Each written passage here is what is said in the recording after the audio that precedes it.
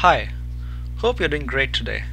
In this video I want to show you how to make use of gradients in Inkscape. So let's get started. We're going to create a simple rectangle to which we're going to apply some gradients.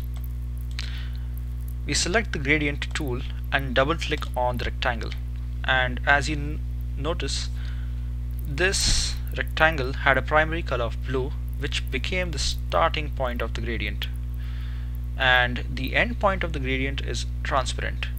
And how do I know that? I look at the color at the bottom. So now let's change the gradient a bit. I can move the the start and end points of the gradient. I can rotate these points which gives me a nice little effect. The other thing I can do is I can change the type of gradient. And I can do that by double clicking on the fill and saying radial gradient and that gives the whole object a radial gradient where the primary color is at the center.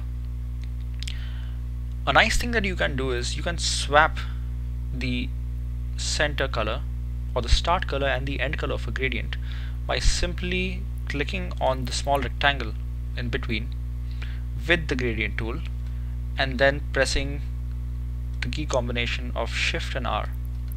And you might have to do it twice in the first the first time you try this. And that effectively reverses the start and end point and that's the shortest way you can do that. Uh, the other thing you can do is with the gradient tool selected if you select the start point you can change the color. So I'm going to make it a little bit darker let's say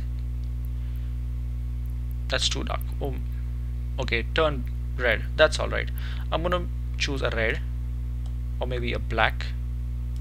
Yeah let's choose a little dark color which is like black. And then for the endpoint let's choose let's choose a red. And I could pretty much choose the start and endpoint colors by simply selecting the gradient start and end points and selecting the colors from the color palette or from the fill, fill color options. Uh, I think that's pretty much it for this video. Uh, and thanks for listening